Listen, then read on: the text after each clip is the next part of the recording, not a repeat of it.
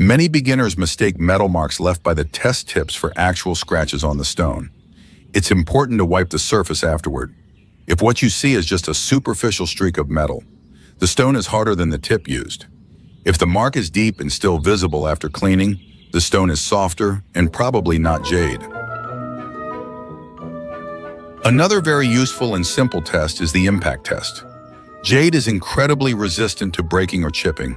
Even under moderate blows, it rarely fractures.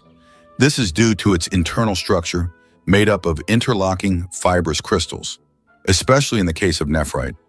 This interweaving gives it impressive mechanical strength, making jade highly valued for carvings, jewelry, and decorative objects.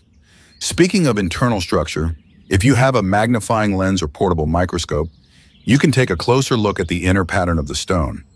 Jade shows a fibrous or granular texture, while rocks like